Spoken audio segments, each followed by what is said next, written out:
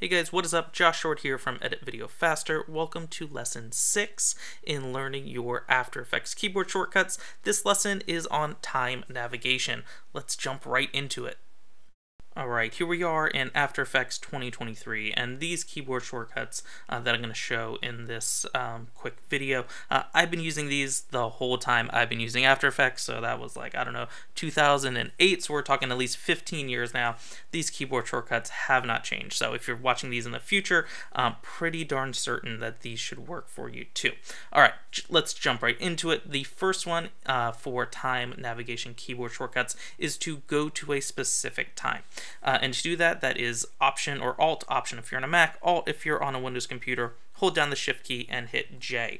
When you do that, this Go to Time box will pop up. It's going to tell you the time that you're currently at. If you want to go to a different time, let's say 10 frames in, just type in 10, hit OK. You can always repeat that, uh, Option or Alt, Shift and J. And then if you want to jump to, you know, two seconds in, you can do that as well. Super useful if you need to go to a specific time, uh, especially if you're on a longer sort of comp. Next up is to move between the previous and next uh, items that are available uh, in your timeline, um, such as keyframes, uh, layer markers, or the work area beginning or end. Uh, and basically uh, you just hit the J key or the K key and whatever basically keyframe or item that's available for you to skip between, uh, that is going to jump your time position indicator to it. Next up, to go to a selected layer's beginning or end. After Effects calls this the in point and out point. I'm over, you know, in the NLE world most of the time, and so I don't call it the in and out point because uh, that means something else to me.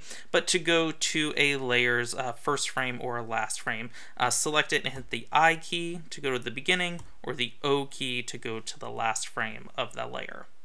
Now, the rest of these shortcuts, uh, if you are on a laptop uh, like I am, it's going to act a little bit differently. Um, so I'm going to give you both um, the full keyboard shortcut and the uh, laptop keyboard shortcut. So go to to go to the beginning or end of your work area. Uh, if you're on a full keyboard, hold down Shift and hit Home, or Shift and hit End to go um, to the beginning or end of the work area. If you are on a laptop, hold down the function key, hold down shift, and then you can hit the left arrow or the right arrow.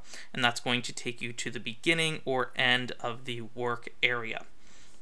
To go to the beginning or end of a composition, uh, release that shift key. So uh, just hit the home or end key or hold down the function key and hit the left or right arrows if you're on a laptop.